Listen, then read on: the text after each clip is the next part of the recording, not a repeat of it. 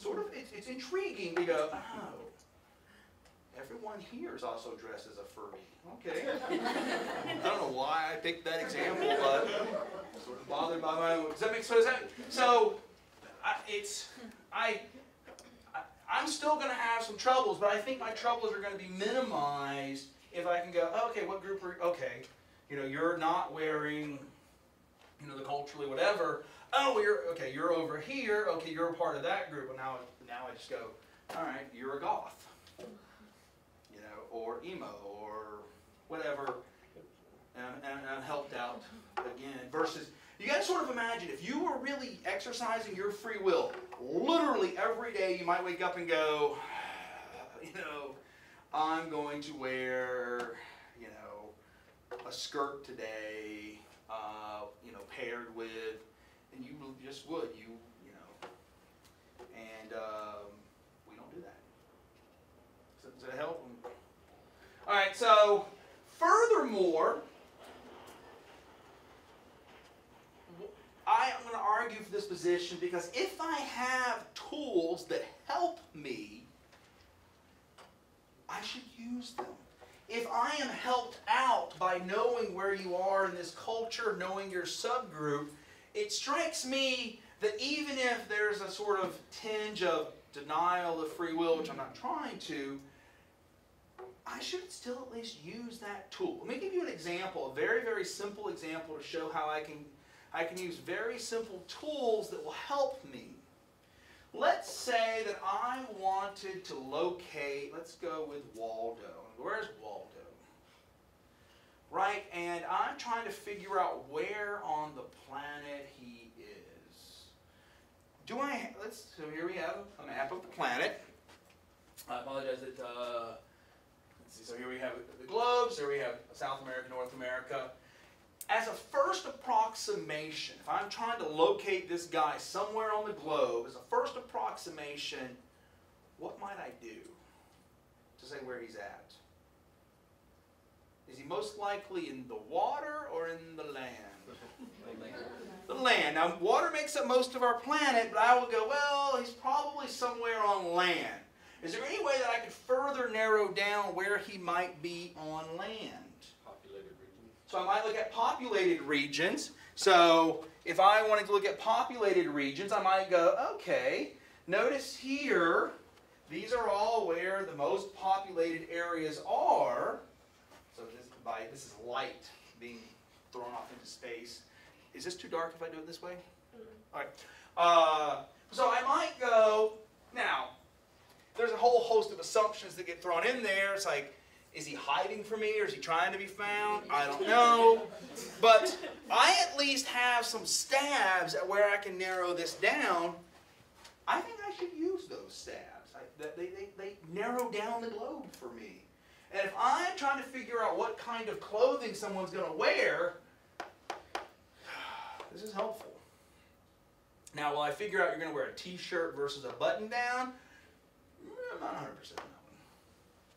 So that's how we deal with the second, these first two objections, right? Um, third, these data are not inevitable. If there's anything that a, that a study history, a study of culture should tell you, is that people can almost organize any kind of society they want. If you go across the globe, there are some trends that we will see over and over. There's some trends. And there's about five things that show up in almost every single culture, uh, these, these dominant cultural trends. But really, there's a lot of variability, a lot of variability in culture. So they're not inevitable. None of this is to imply that we have to wear pants or the world will end. So we don't, right? Because we don't, we don't have to divide people into colors of skin any more than we do lobs of ears.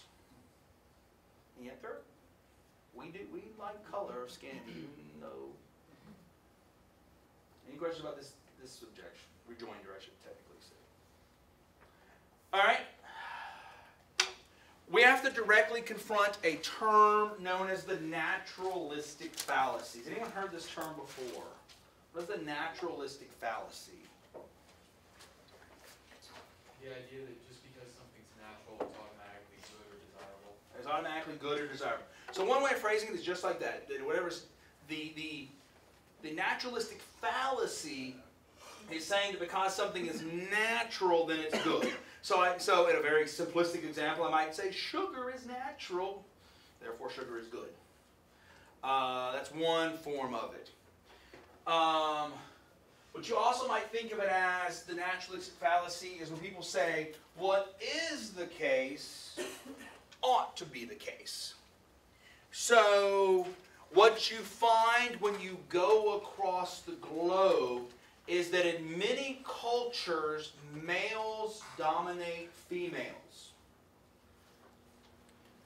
The naturalistic fallacy would be to say, what? That males should dominate females. Because that is in the order of things. That is a fallacy. The fallacy is assuming that what is ought to be the case. Now, people also throw on top of that that it is good that it's the case, that it's right that it's the case. But you hear this over and over and over. You might hear someone say, well, females are able to have babies, therefore they should have babies. Fallacy. Uh, humans divide people into colors of skin, therefore we should divide people into colors of skin. That's a fallacy. That we do it doesn't mean we ought to do it. So I'm going to be speaking over and over in this course uh, about what people are doing. I'm going to say many things about people's actual behavior. In many cultures, males dominate females. I do not think they should dominate females, but the goal of my class is to predict and explain behavior, not dictate it. Right? My goal is not as a preacher to say how you should act. My goal is to go, huh, here's what I find when I go across the globe. Is there any questions about this, this naturalistic fallacy? So to give some examples in, in the history of our culture, many cultures, many cultures have had slavery as part of their cultural uh, legacy. If someone were to say, oh, therefore slavery is natural and normal and good, what should you say back now? I mean, it is as much a fallacy if I were to say 1 plus 2 makes 4. It's a fallacy. You've made a mistake. And you go, oh yeah, I made the naturalistic fallacy. All right. Oh, but I will tell you, this shows up all the time it's almost like you just want to have a stamp that reads naturalistic fallacy, naturalistic fallacy. Um, um, like, to give one example, people often say women are more nurturing, therefore women should stay home with the kids. you want to have a stamp that says that. You go, that's a fallacy. All right. Um, all right, one last objection. All right, I've talked about the atomistic, uh, atomistic perspective, but why not start with individual people? We're psychologists, we love people. That's what I do. Why not start with individual people? And I, the real answer here comes not from philosophy or any of those fields. The real answer here, I think, can be best understood in terms of meteorology. You're thinking, how many fields are involved in this thing? ah, let's say that you want to take a meteorology class, and y'all know I have. Uh, I love to learn. Uh, all right, so if, if there's some meteorologist watching this at home, I'm going to butcher your field about right now. Let's say you want to predict whether or not there's going to be clouds on a single day. If you want to predict clouds on one day, you have to know about a half dozen variables precisely defined. You have to know the relative humidity, how much moisture is in the, in, in the air. You have to know the temperature. You have to know, um, there's like five others of these that I just, I'm, like, I'm not a meteorologist. But you have to know about five precisely defined variables to predict clouds on one day. Do we have that yet for psychology? No. I don't have yet that if I have Alex and five of her traits, I can predict. I don't have that for people yet. But even if I did, I run up against another major problem. And this also comes from meteorology. There was a man named Edward Lorenz. Has anyone heard of Edward Lorenz? Well, now you will. Edward Lorenz was trying to run some climate models. And the story goes that he ran his models and let's say for the sake of example, he ran and he rounded off his precisely defined variables to five digits. So he's like, oh, what's the temperature? It is 37.349, whatever. I said 5, 37.349. Okay, good, I got 5. So he runs his model, and he finds various, he's like, okay, the temperature's going to go up, it's going to go down, you know, whatever. The temperature's going to do whatever it does. And then he wanted to check his model, but he was running out of time. So instead of using five digits, he used four or three. I don't remember which one it was. Feel free to correct me.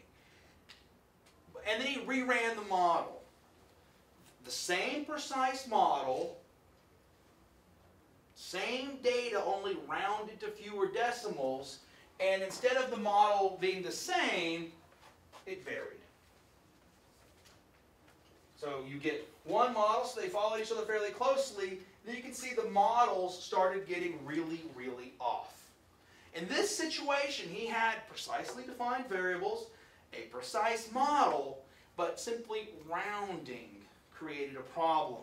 And what he argued is there is, and this is a phrase that we're going to know, a sensitive dependence on initial conditions. That is, the precision of our initial measurements is going to influence our later predictions.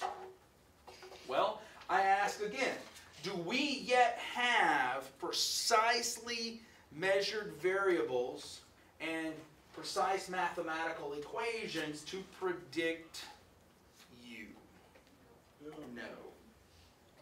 If meteorology doesn't have it yet, I guarantee you we don't. And that's why I'm not going to start with you. What I am going to do, if, if you imagine what I'm going to do instead of starting with you in this way, I'm going to, I'm going to try to work it backwards.